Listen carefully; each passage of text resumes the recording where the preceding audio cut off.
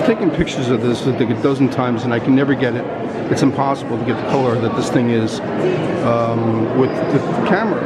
It's the way to adjust the picture makes it always flat. It's much more bold and real when you sit stand in front of it. Any picture I've ever seen of it, including even the best art uh, uh, books I've ever seen. This this painting is worth coming here to see because you're never going to experience it like it is in reality until you come here and actually see it.